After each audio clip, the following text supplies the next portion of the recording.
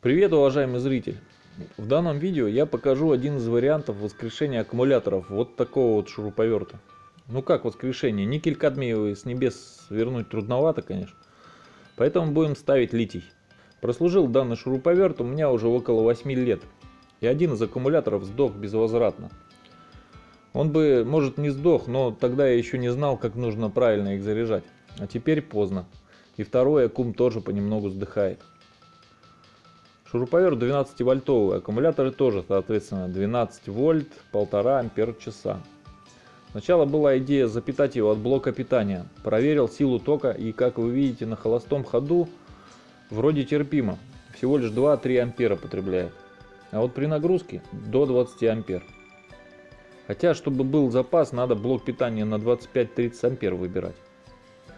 Поалиэкспрессил немного, нашел блок с минимально подходящими параметрами и сопоставив размеры блока, цену, странность всей конструкции, принял решение, что можно немного добавить и купить уже готовый шурик, вот, например, вот такой, и не лепить, что попало. Но напрашивается вопрос, зачем покупать, если этот еще живой? В общем, начинаем. Заказал следующие запчасти для переделки на литий. Вот такая вот плата для трех банок 18650 литиевых батареек. Она универсальная, защищает батареи от сильного разряда и от перезаряда и выдает ток до 25 ампер. И вот такой индикатор заряда для трех банок 18650. Он у меня давно в корзине на Алиэкспресс лежал, ну вот и пришло время пробануть. Сами 18650 я не покупал, вытащил из старого павербанка. Померил емкость при помощи Ли 500. В результате была обнаружена емкость в 900 мАч на банку. Конечно не ахти, но зато экономия на лицо. Теперь надо все это собрать и проверить. Сначала вытащил старые аккумуляторы. Вот такие внутри были аккумы.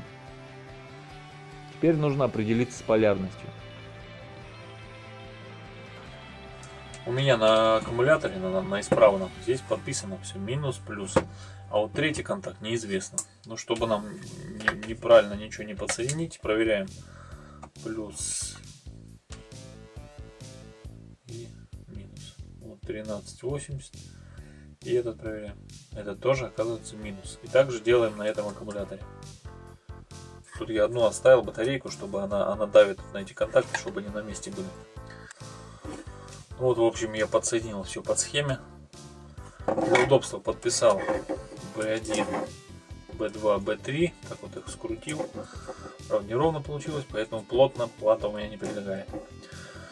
Потом припаял один проводок, здесь второй. Все по схеме соблюдал. Нормально. Так, ну здесь у нас плюс, минус, минус.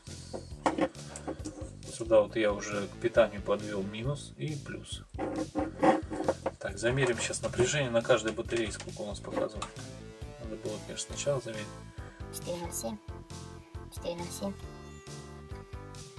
407, 407, 408. И на выходе у нас, если сюда вот мы подкручиваем вольтметр, 12.22. Так, что нам проверить в первую очередь? В первую очередь давайте проверим сразу, как, как у нас работает шуруповерт, точнее. Вот они мои три дохлых аккумулятора, сравнительно дохлых.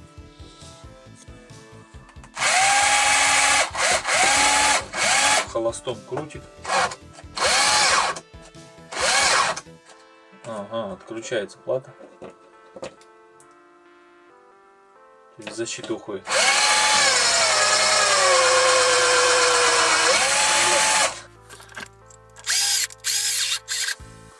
Попробуем вкрутить вот такой вот саморез.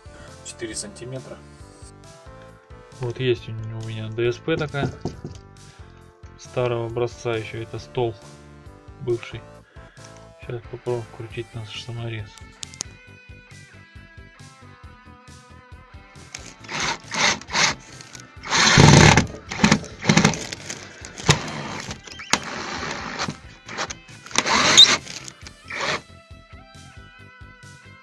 Потом сверлом восьмеркой я насверлил немного отверстий, а именно 52 у меня получилось. Дальше не стал, решил проверить, насколько просели аккумы в результате этих небольших испытаний. Измерил температуру аккумуляторов. Они нагрелись примерно до 40 градусов. Кстати, мой шуруповерт рассчитан на 12 вольт, напоминаю. А они в сумме выдавали сколько у нас 12 там?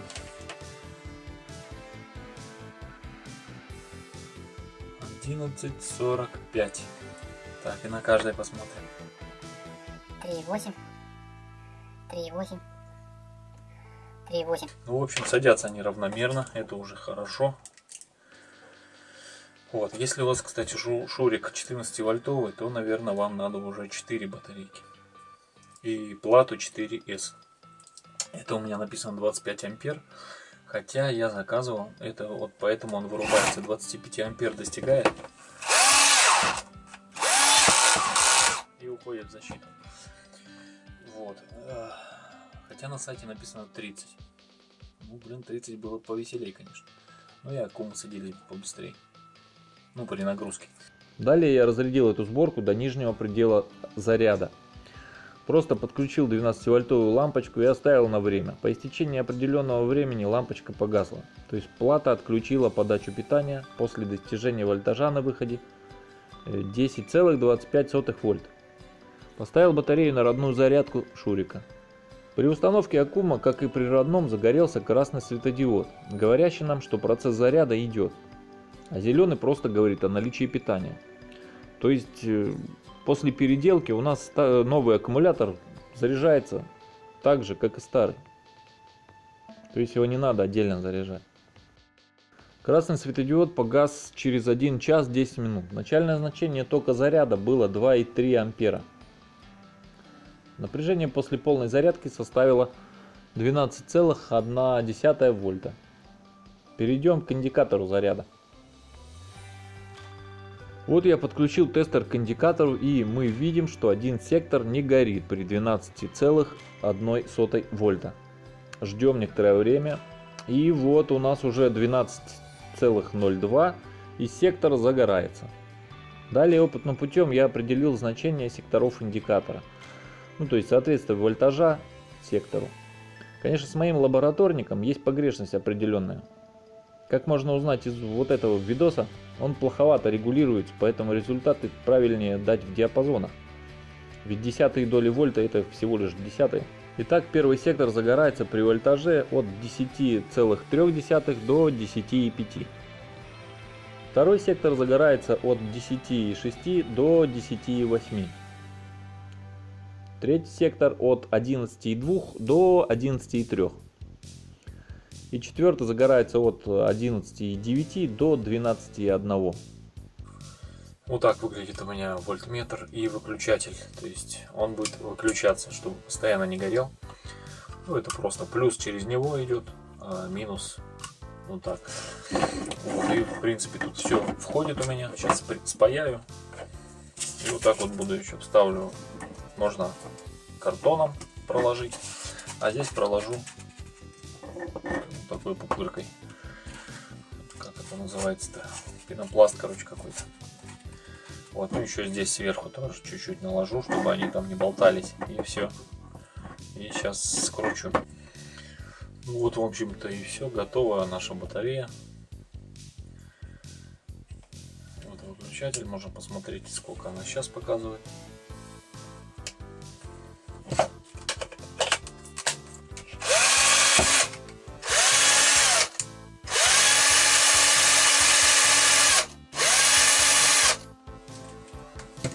Так что вот такая вот. Вот такой результат. Только при установке кнопки я не учел, что в чемодане она может сама нажиматься. Это не есть хорошо. Для решения проблемы мне опять пригодилась часть китайской упаковки. Я приклеил ее и теперь кнопка просто не достает до корпуса. А чемодан нормально закрывается. Подводя итоги этого небольшого апгрейда Шурика, можно выделить несколько нюансов, которые необходимо учесть при такой доработке.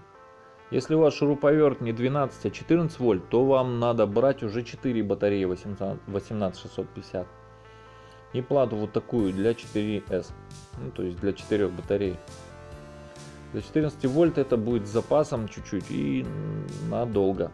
Ну и если индикаторы брать, то они тоже другие. Там у производителя, ой, вернее, в магазине есть целый набор таких.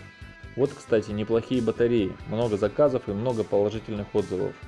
Еще буду переделывать, там возьму. Подбирая платы, нужно быть внимательным. В моем случае на сайте что только не, не было написано. Китайские друзья написали в некоторых местах 30 ампер, в некоторых меньше 30 ампер, а в отзывах и на самой фотографии платы написано вообще 25. Ну то есть правда трудно найти и только отзывы более-менее помогают пролить свет на реальные характеристики товара. Ну а вообще чем больше этот показатель, то есть ну 20 или 30 ампер там, тем больше ток можно взять с аккумов. Опять же, некоторые батареи плохо переживают большую токовую отдачу, поэтому 25-30 ампер для шуруповерта это норма. Больше точно не надо. Это же все-таки шуруповерт, а не перфоратор. На этом у меня все. Ссылки кому надо в описании. Спасибо за внимание. Подписка, как всегда, приветствуется. Всем удачи и позитива. Пока.